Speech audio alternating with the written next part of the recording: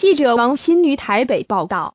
第二十九届金曲奖今晚在小巨蛋登场，本届歌王堪称死亡之组，由陈奕迅、林俊杰、宋念宇、小雨、李玖哲及许书豪等人竞争，最后由陈奕迅靠住《C Mon In》夺下。陈奕迅靠住新专辑《C Mon In》打败林俊杰、宋念宇、小雨、李玖哲及许书豪，顺利夺下第三座最佳男歌手。成为新任歌王，陈奕迅一上台就拿起手机对台下观众拍照，开心的他藏不住笑意，自嘲：“我是长辈，不应该这样。”他感性说：“这张专辑我要特别感谢我的经纪人，因为他是唱片公司出来的，对音乐特别有坚持。”他更现场秀出歌艺，演唱新专辑《See Mon In》的披风。让台下大饱耳福，